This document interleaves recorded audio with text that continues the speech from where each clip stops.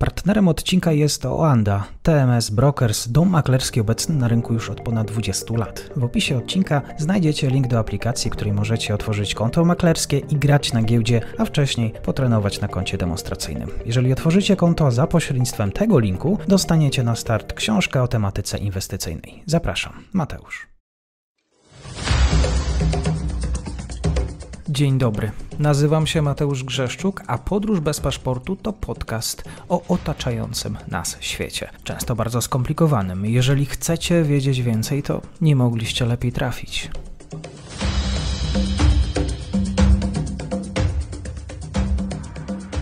Dzień dobry Państwu, dzień dobry wszystkim słuchaczom. Cieszę się, że dzisiaj ze mną Rafał Michalski, ekspert do spraw polityki amerykańskiej. Kłaniam się.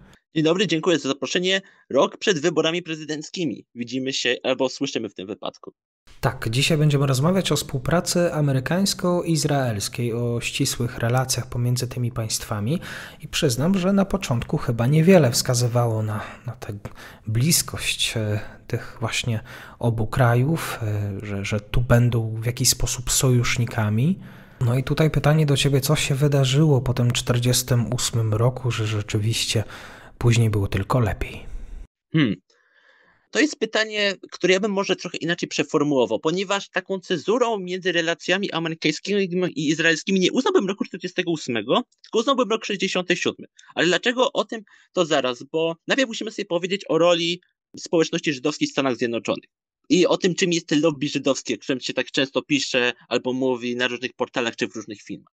Ponieważ amerykańscy Żydzi byli od zarania dziejów państwa amerykańskiego bardzo mocno zjednoczeni. To znaczy mieli taką silną wspólnotową tożsamość. Do XIX wieku to była grupa około 10-15 tysięcy Żydów, których moglibyśmy nazwać taką wspólnotą żydowską, wspólnotą polityczną, jakkolwiek. To między innymi ten temat powrotu Żydów do Ziemi Świętej, on, o nim się bardzo dużo pisało w prasie, było wydawane w połowie XIX wieku i takim przełomem dla dla tej mniejszości, to był rok 1914 i to było zaangażowanie Lu Luisa Brendesa. Louis Brendes to my go dzisiaj znamy głównie albo z faktu bycia sędzią Sądu Najwyższego Federalnego, po pierwsze, albo znamy go, to, to już bardziej prawnicy znają go z koncepcji nowoczesnego prawa do prywatności, jaki on wprowadził do praktyki orzeczniczej w Stanach Zjednoczonych na początku wieku XX.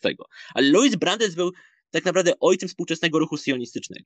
To znaczy, to, to, to był człowiek, który zauważył, że najlepszym sposobem, żeby pokonać antysemityzm w Stanach Zjednoczonych, a później też w Europie i w Rosji, ponieważ on się interesował też społecznością żydowską w Europie, to jest właśnie odrodzenie sionizmu. To jest faktycznie stworzenie państwa na Bliskim Wschodzie, to jest stworzenie państwa na terenie dzisiejszej Palestyny i Louis Brandes, czyli praktykujący prawnik, który przez wiele lat między innymi działał pro bono dla organizacji żydowskich. To między innymi walka z antysemityzmem, walka z nienawiścią, także żeby nie było dla innych mniejszości, ale głównie on tutaj mocno obracał się pro bono w kontekście pomocy Żydom i za jego tej działalności, można powiedzieć misyjnej, działalności edukacyjnej, ten ruch pro, e, prożydowski, sionistyczny wzrósł z 15-20 tysięcy osób do około 200 tysięcy osób tak jak podają, podają współcześnie historycy.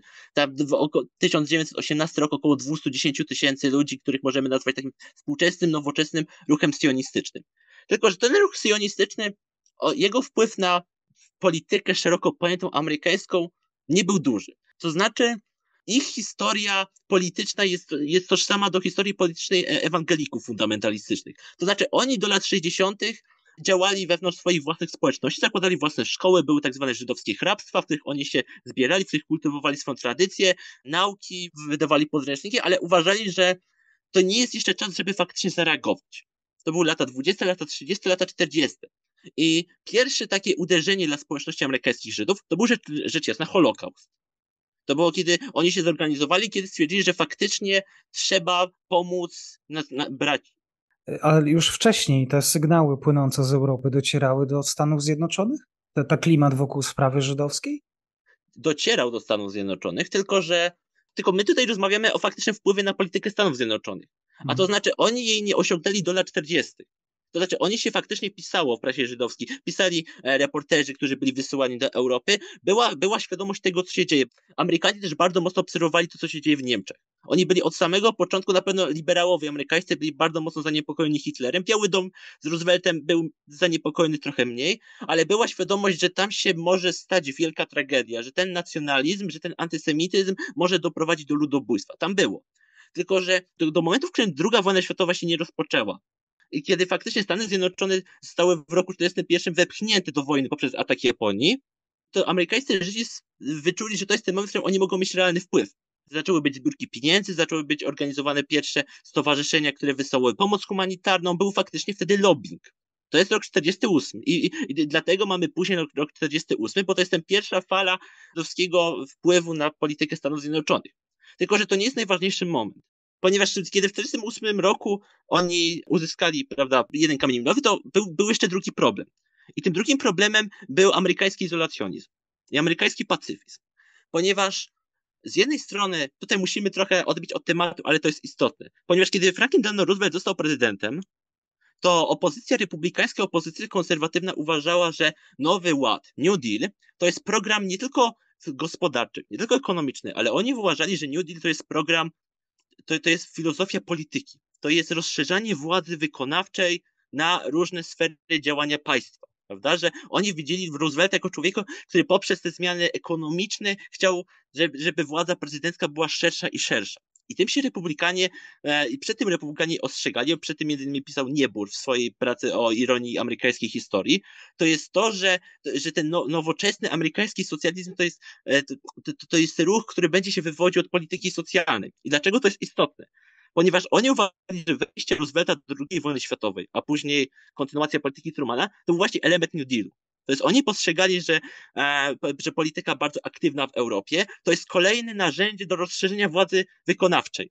No dlaczego? Bo chociażby Roosevelt mógł dokonać zmian gospodarczych, mówiąc, że to dla produkcji broni, ale to już był wpływ centralny na gospodarkę. Były chociażby e, obozy dla e, osób pochodzenia japońskiego. To też było rozszerzenie władzy wykonawczej bezprecedensowe, tak naprawdę do, do, do prezydentury Johna Adamsa.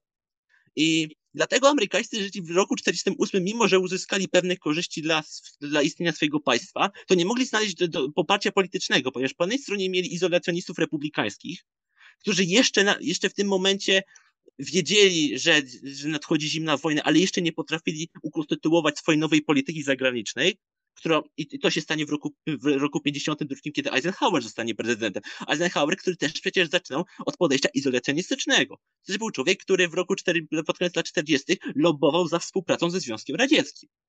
Więc ta zmiana dokonała się dopiero na przełomie lat 40. i na lat 50. A z drugiej strony byli, a z drugiej strony byli demokraci, którzy również przechodzili swoje własne wewnętrzne zmiany to jest, oni faktycznie wyszukali swojej własnej tożsamości po odejściu Roosevelta. Truman, można go doceniać za wiele rzeczy, ale on tej nowej twarzy demokracji nie potrafił dać, a lata 50. to jest wielki kryzys partii demokratycznej. I tutaj nam wchodzi rok 67, ponieważ rok 67 to jest wojna sześciodniowa.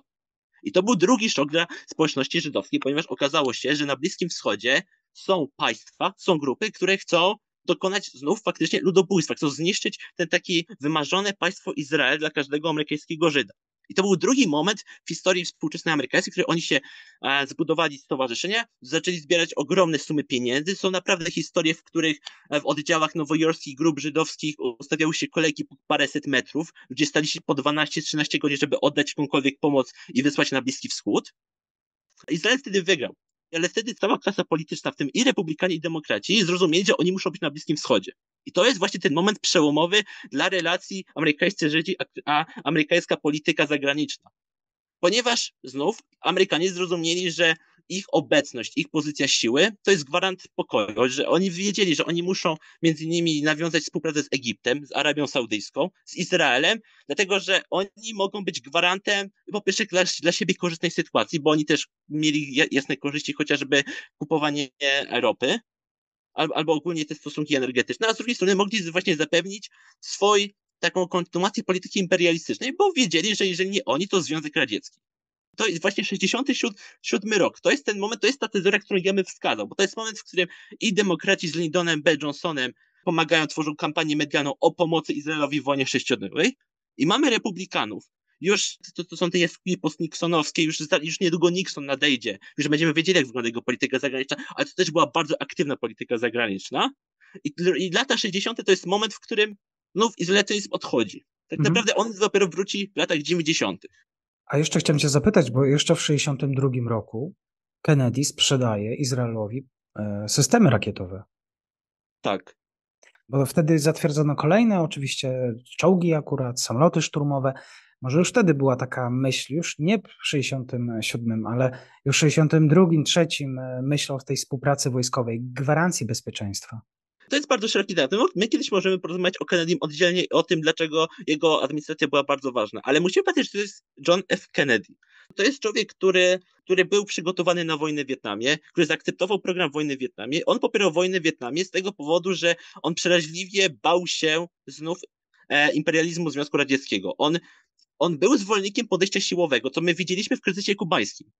To kryzys kubański, kubański to jest idealne, to, to, to jest idealny moment w historii, w którym my widzimy spojrzenie Kennedy'ego na politykę. To jest pójście do przodu, to jest bezpośrednia konfrontacja. I z mojej oceny jasne, ja tutaj zajmuję się głównie historią Stanów Zjednoczonych wewnętrzną, więc prawdopodobnie osoby, które zajmują się historią Izraela czy historią geopolityki, one będą miały spojrzenie odmienne od, od mojego. Z mojej perspektywy to był moment, w którym Kennedy jeszcze o tym myślał jako o straciu mocarstw jako właśnie o Bliskim Wschodzie, jako kolejnej arenie walki pomiędzy tymi, tymi dwoma siłami komunistycznymi i demokratycznymi czy republikańskimi, w zależności kogo się spytać w tym momencie. A w 67 rok to jest moment, w którym demokraci wpisują do programu. Na konwencji demokratycznej w roku 67 jest prawie że jednogłośnie uchwalona uchwała o wsparciu Izraela. To jest ten przełom. To jest już nie tylko polityka jednego prezydenta, ale mówimy tutaj o konwencji demokratycznej, w której zbierali się i liberałowie, i umiarkowani, i, i demokraci z południa, osoby z całego spektrum. I znów to, co się stało w 1967 roku, ma konsekwencje dzisiaj. Bo, bo dziś e, nie, nie, nie, wiem, czy padnie to pytanie za parę minut, ale to, co się chociażby dzieje na kampusach uniwersyteckich, na ataki antysemickie, to wszystko jest dziedzictwo właśnie roku 67, nie 48 i nie 62. W takim razie, co po wojnie sześciodniowej? Jak te relacje i wsparcie dyplomatyczne dalej się, e, przede wszystkim też wsparcie, współpraca gospodarcza, e, handel pomiędzy krajami? trochę może inaczej. No bo nie jestem człowiekiem, który będzie najbardziej kompetentny, żeby opowiadać mm. o mhm. historii gospodarczej, a zawsze mam takie blokady, żeby nie opowiadać o czymś, o czym nie mam stuprocentowej wiedzy. Ale trochę przekręcę to pytanie w takim razie. Bo, bo działo się bardzo dużo po 1967 roku. Kiedy trwała wojna sześciodniowa i dochodziło do tych, tych masowych zbiórek pomocowych, dla masowej kampanii medialnej. Naprawdę gazety pisały o, o potrzebie pomocy, te radia, telewizja. To, to, to, był, to był temat bardzo głośny w tamtym, e, w tamtym czasie. I była jedna grupa społeczna, która nigdy nie wsparła Izraela wtedy. To byli młodzi. Dlaczego? Bo lata 60. to jest era kontrkultury. To, to są związki studenckie, uniwersyteckie, to, to, to jest ruch na rzecz praw obywatelskich, to jest, to jest ruch japizm. Je wszystkie łączy pacyfizm. A jeżeli nie pacyfizm, to bardzo daleko idąca nieufność wobec wojny. Znów, kontrkultura wyrosła także wobec sprzeciwu, e, wobec wojny w Wietnamie. I do roku 67 szeroko pojęta lewica nigdy się nie interesowała sprawą Bliskiego Wschodu nie mamy tam wielu esejów, nie mamy wiele tekstów, nie mamy wielu broszur. Oni zaczęli interesować właśnie w roku 67, kiedy z jednej strony tak wspierali Izrael, ale widzieli, że, ten, że Izrael także ma takie ciągoty, można powiedzieć, imperialistyczne. To, to, jest, to, to, to jest, oni zaczęli mówić już o Palestynie. To, to, to był właśnie ten moment starcia. I kiedy Izrael wygrał, i kiedy demokraci na konwencji demokratów e, uchwalili jednogłośnie tą dlatego powiedziałem prawie jednogłośnie tą uchwałę o wsparciu Izraela. Kto nie zagłosował? No przedstawiciele lewicy nie zagłosowali, bo oni widzieli, że Amerykanie powinni wspierać, ale Amerykanie powinni wspierać cywilów. I to, co się bardzo interesującego dzieje w historii politycznej Stanów Zjednoczonych, a dokładnie w tych relacjach pomiędzy polityką a amerykańskimi Żydami, to jest właśnie starcie Żydów z lewicą. Ponieważ amerykańscy Żydzi byli na tyle mocno zniesmaczeni tym brakiem wsparcia całego bloku demokratycznego, że, tych, że, że, że gdy później sytuacja się zmieniła, i to znaczy, gdy e, oni się stali establishmentem, a nowa lewica stała się marginesem politycznym w latach 70., bo oni się stali marginesem politycznym i chociażby nie mieli siły przebicia w latach 80., gdy dochodziło do pandemii AIDS i HIV, amerykańscy Żydzi nigdy nie wsparli e, lewicy, jeżeli w te, właśnie w tematy pandemii HIV. Nigdy nie wspierali pomocy e, e programów do, e, dotyczących walki z rasizmem to nigdy nie było żadnych relacji. I to jest o tyle interesujące i o tyle ważne, że jest taki mit. On, bardzo często się go słyszy, że po roku 67 to amerykańscy Żydzi dołączyli do partii republikańskiej. Właśnie nie. Oni zostali w partii demokratycznej. W, Repu w partii republikańskiej byli ewangelicy, którzy swoją drogą są bardziej proizraelscy niż amerykańscy Żydzi. To ich łączy. Tylko, że amerykańscy Żydzi zostali w partii demokratycznej, dlatego, że zmarginalizowano lewicę. I Stany Zjednoczone, znów lata 80. Ronald Reagan, no to e, neokonserwatyści i te pozostałości po partii demokratycznej federalnej, która w latach 80. była w fatalnym stanie, to oni postrzegali siebie, oni postrzegali status quo jako coś, do czego Ameryka powinna dążyć. To jest wspieranie Egiptu, Arabii Saudyjskiej, Izraela. To było czerpanie korzyści z takiego strict, z tego obowiązującego podejścia, a też te państwa postrzegały, e, postrzegały to podejście USA jako dobre wobec siebie, jako, korzystne dla obu stron. To była dobra umowa.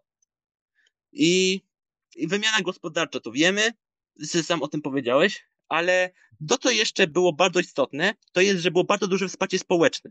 To jest, amerykańscy politycy nie zrobiliby takiego znacznego skrętu wobec Izraela, gdyby wyborcy się na to nie zgodzili. A w latach 80., w latach 90., to są bardzo różne badania, niektóre z nich trudno e, prze, przez brak metodologii opisanej ciężko stwierdzić, na ile są prawdziwe, na, na ile mogą być punktem odniesienia. Ale według różnych badań wygląda na to, że około 70-80% zarejestrowanych demokratów popierało państwo Izrael. To, jest, to są bardzo duże liczby. To jest dlatego, ta zmiana mogła dojść, dlatego taka polityka mogła być prowadzona. Dla, dlatego Bill Clinton, jego administracja wyglądała tak, jak wyglądała. I tym się różni administracja Billa Clintona od administracji Joe Bidena, że dzisiaj te relacje są zupełnie inne, ponieważ wyborcy się zmienili, profil demokratów się zmienił. I to jeszcze jedna rzecz, być może ponieważ powiedziałem na początku o ważnej istocie lobby żydowskiego, bo to jest prawda.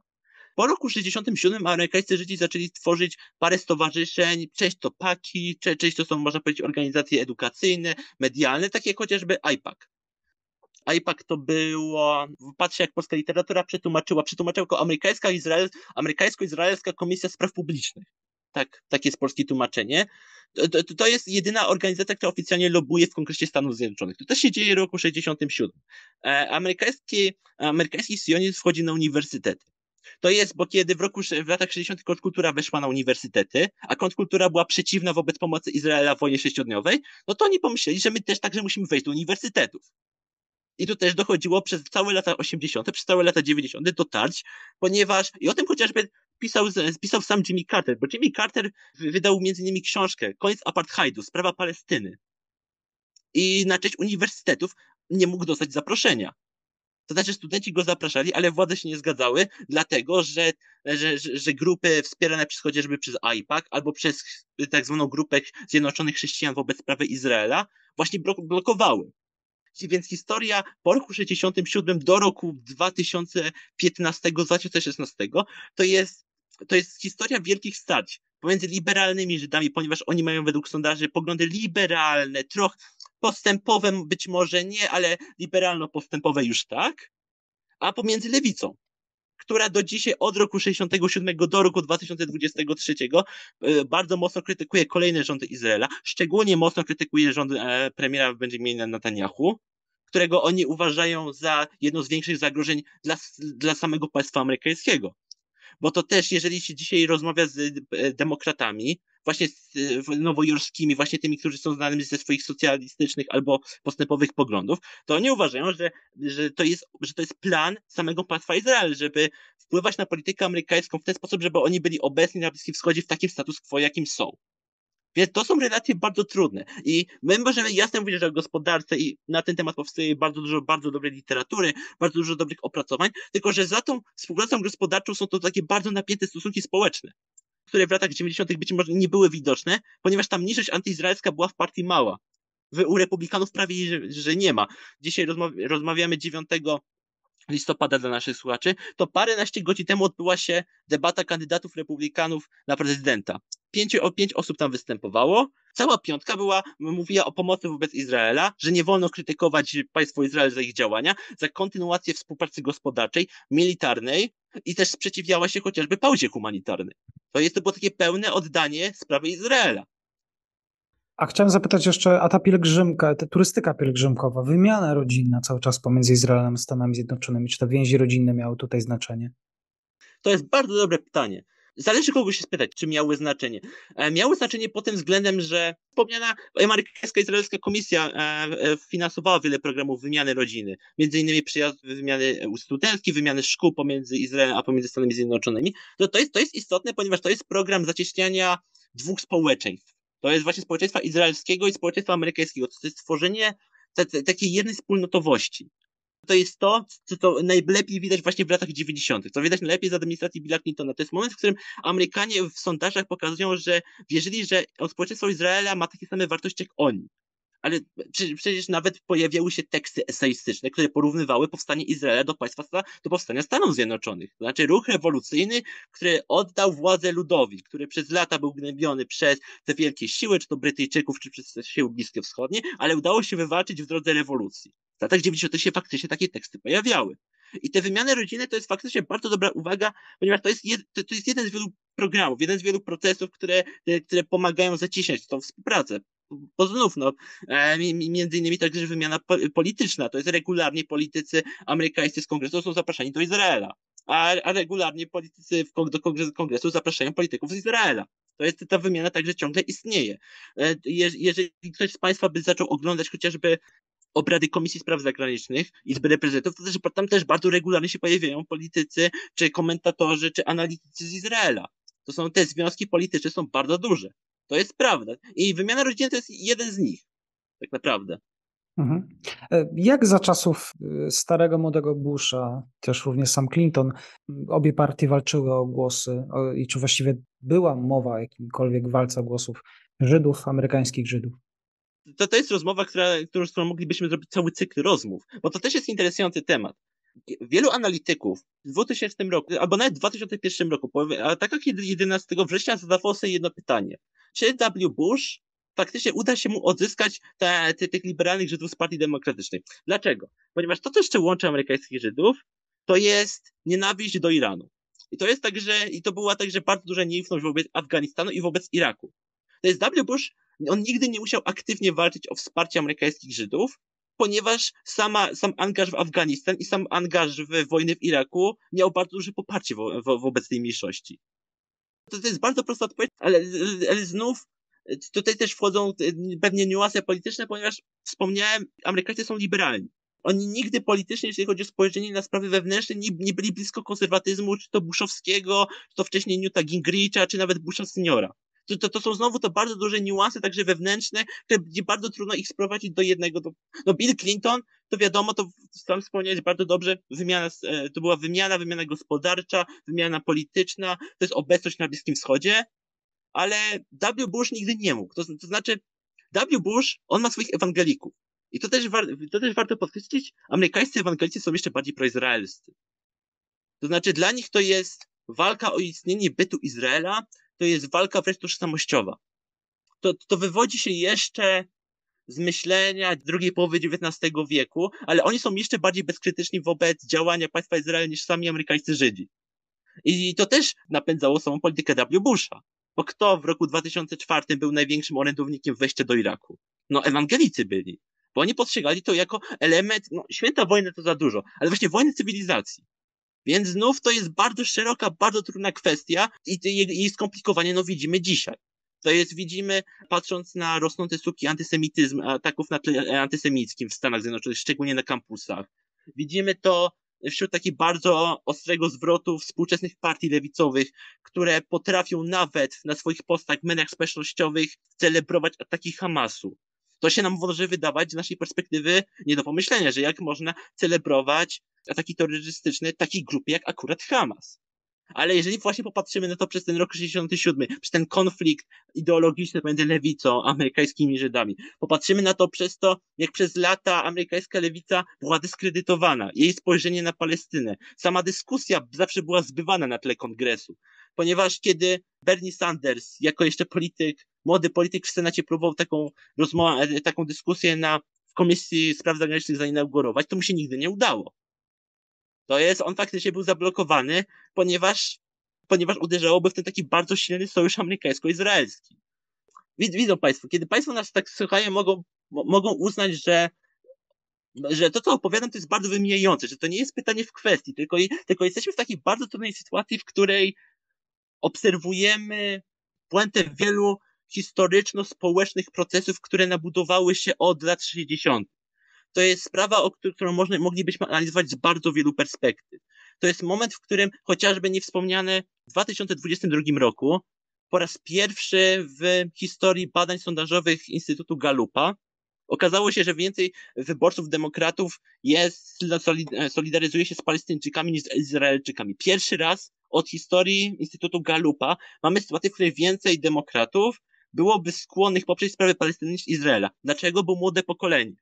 To znaczy, więc mamy jeszcze kolejny, kolejny poziom tych takich współczesnych konfliktów na tle społecznych, to jest właściwie konflikt pokoleniowy ponieważ e, dzieci nie mogą znaleźć wspólnego języka z ojcami, to widzimy w kongresie. Młodzi politycy dzisiaj piszą list do sekretarza stanu Antonego Blinkina o to, żeby walczył on o pauzę humanitarną, a najstarsi politycy w kongresie w Partii Demokratycznej piszą, e, głosują za nałożeniem nagany na Rashidę Tlaib, czyli na, czyli na jedyną propalestyńską polityczkę w Izbie Reprezentantów. Więc znów, na, nasza rozmowa może być potraktowana jedynie jako wstęp do szerszej analizy, do szerszej dyskusji, do literatury, ponieważ to, co się dzieje, jest bardzo trudne do ujęcia, bo my jeszcze nie wiemy, jak to się skończy. My nie wiemy chociażby, co się stanie z amerykańską lewicą, to znaczy, czy, czy ona będzie chciała, czy ona będzie skłonna poprzeć politykę liberalną Joe Bidena. My nie wiemy, bo być może, kiedy byśmy się za rok tutaj spotkali, to oni stworzą własny ruch. My nie wiemy, jak się zachowają amerykańscy Żydzi w tych wyborach, bo może oni być może widząc ten skręt w lewo Partii Demokratycznej, także będą przechodzić do Partii Republikańskiej. Znów my bardzo mało wiemy. To jest ten problem analizy współczesnych Stanów Zjednoczonych i współczesnych relacji amerykańsko-izraelskich, że my bardzo mało wiemy. My, my widzimy symptomy, ale my nie, my nie znamy powodu jeszcze. Jeszcze zapytam, czy Izrael był, jest traktowany w Stanach Zjednoczonych jako lojalny sojusznik? Tak, bardziej. Jak, e, powiedziałbym, że dla republikanów jest traktowany jako prawie że państwo partnerskie. U mhm. republikanów, to, no, to było bardzo dobrze widać na debacie kandydatów na prezydenta. E, to jest podejście, wspieramy Izrael, nie, nie będziemy krytykować działań państwa Izrael. Nawet biorąc pod uwagę kradzież technologii. Nawet. E... Nawet nie, bo sprawa Bliskiego Wschodu, dla, szczególnie dla republikanów, to jest sprawa właśnie o zachowanie status quo to jest tak samo, to, to mnie chociażby ci zszokowało, to żaden z republikanów chociażby nie wspomniał o sprawie cywilów. To jest republikanie także nie, nie będą krytykować Izrael za to, w jaki sposób oni obchodzą się z cywilami w strefie gazy. Nie. To jest, dla nich to jest państwo partnerskie. U mhm. demokratów znów lewica, to jak powiedzieliśmy, jest bardzo krytyczna. Liberałowie powoli także zaczynają dostrzegać właśnie tą sprawę cywilów, ale oni też postrzegają Izrael jako najsilniejszego partnera w regionie. Nie mają innego, który miałby takie wpływy, taką technologię i taki potencjał rozwoju. Któryś z dziennikarzy parę dni temu powiedział to na antenie CNN, że to jest największa tragedia Partii Demokratycznej, bo to jest sojusznik, który może im się nie podobać, ale nie mają lepszego w regionie. Jeszcze słowem, e, tak, e, oczywiście tutaj rodzi się wiele teorii spiskowych, ale gdybym myślę, że w komentarzach słuchacze albo niektórzy z coraz bardziej podejrzliwych ton będą mówić o, o wpływach lobby wielkich żydowskim, o Żydach nowojorskich, którzy kontrolują politykę amerykańską. Skąd to się wszystko bierze? Ja sam to wywołałem, może nawet trochę prowokacyjnie rozmowę o lobby żydowskim, bo takie istnieje. Skąd to się bierze? To się bierze z dwóch rzeczy. Po pierwsze, dla części z Państwa może być szokiem, że teoria o Rothschildach i teoria o rodzinach żydowskich kontrolujących państwo amerykańskie to jest teoria lewicowa. To powstało w czasie kontrkultury, między innymi taki esej bardzo znany, mogę powiedzieć, e, organizacji Student Nonviolent Coordinating Committee z roku 64, gdzie oni wprost piszą o rodzinie Rothschildów, która ma swoją bazę w Nowym Jorku która chce kontrolować Stany Zjednoczone. To jest teoria spiskowa, która się wzięła od skrajnej lewicy. To, to, to, jest, to może być szokujące, ale to jest bardzo interesujące. Ale z drugiej strony, to, to jest teoria właśnie o tym lobby żydowskim, która właśnie łączy z jednej strony lewicę, a z drugiej strony prawicę ponieważ, ponieważ z drugiej strony e, skrajna prawica będzie, będzie mówiła e, o Baracku Obamie albo o rodzinie Clintonów, jako właśnie tych politykach, którzy byli e, przekupywani, byli korumpowani przez lobby żydowskie. Fakt jest taki, że lobby żydowskie istnieje, Lobby żydowski nie może być ono zakonspirowane, dlatego że my nawet wiemy, jak się nazywa. Nie może być zakonspirowane, dlatego że nawet wiemy, gdzie jest zarejestrowany pod jaki adres w urzędzie. Ono nawet nie, ono nawet nie jest wszechmocne, bo kilkukrotnie zdarzyło się, gdzie ich inicjatywy, za którymi bardzo mocno lobowali, były przegrywały, chociażby w roku 2014. Oni, wspomniane APEC, czyli te forum amerykańsko-izraelskie, lobowało za nałożeniem dodatkowych sankcji na Iran. To była bardzo głośna sprawa, tam były spotkania z politykami obu partii, rozmowy całątne, nigdy się nie udało tych sankcji nałożyć w roku 2014 to widać, że te lobby jest, ale ono nie jest wszechmocne. Takich porażek miał ki kilkanaście w przeciągu ostatnich lat. Skąd się biorą takie teorie spiskowe? Amerykanie, znów to, to będzie odpowiedź może niesatysfakcjonująca, oni od początku swojego istnienia mają ciągoty do teorii spiskowych o tajnych organizacjach. Ponieważ kiedy e, była rewolucja amerykańska, no to była teoria spiskowa o lojalistach e, królewskich, którzy chcieli obalić nową republikę praca Johna Adamsa podczas w 1800, 800 roku nazywała Thomasa Jeffersona, z drugiej strony jako ukrytego agenta rewolucji francuskiej, który chciałby zamiast e, który chciałby zaraz, jak zostanie prezydentem, ogłosić się królem i obcinać głowy tym, którzy są przeciw jego władzy. Jak to się łączyło z myślą rewolucji francuskiej, ciężko powiedzieć, ale to był 1800 rok. E, jedną z najpotężniejszych trzecich partii w historii Stanów Zjednoczonych była partia antymasońska, szczególnie w wyborach w 1824 roku, gdzie faktycznie to była partia, która była zbudowana na przeświadczeniu, że istnieje lobby masońskie, które kontroluje te elity amerykańskie i polityczne. Przecież oni nawet swojego kandydata na prezydenta wysunęli. Oni nawet mieli własny klub w Izbie Reprezentantów w połowie wieku XIX. Więc wszystkie te napięcia żydowskie, to jest to, że, oni, że to jest mniejszość widoczna, że to jest mniejszość bardzo aktywna, gdzie to jest mniejszość, która bardzo mocno też się wyróżnia społecznie, to jest przez swoją tradycję, przez swoje spojrzenie, takie bardzo silne poczucie odrębności kulturowej, prawda? To na, napędza tego typu teorii spiskowe, które zawsze były. Amerykanie zawsze wierzyli w istnienie tajnych organizacji. Teraz to są Żydzi. Ale przecież w 2008 roku mieli być to muzułmanie, bo przecież Barack Obama miał być politykiem muzułmańskim. No cóż, drodzy Państwo, zachęcam do zadawania swoich pytań swoich odczuć. Może zrobimy jakieś małe QA z Rafałem Michalskim na temat. A, albo transmisję na żywo, bo to nawet mogłoby być. To jest. Nasza rozmowa to jest, jeszcze raz by to powtórzę, to jest bardziej wstęp do szerszych dyskusji bo jakby usiadł obok mnie specjalista od historii społecznej, specjalista od historii gospodarczej. Ja tutaj jestem osobą, która może się najbardziej tytułować specjalista od historii politycznej. To znów jeszcze inna gałąź. Każdy z nas będzie miał zupełnie inne spojrzenie.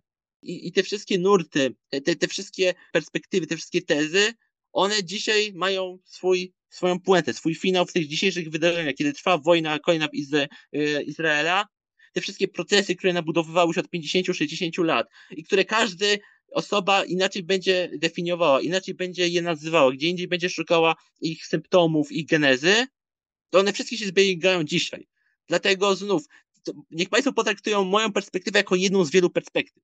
Bardzo dziękuję, Rafał Michalski. No ja bardzo dziękuję i mam nadzieję, że nie zanudziliśmy tym takim historyczno-społecznym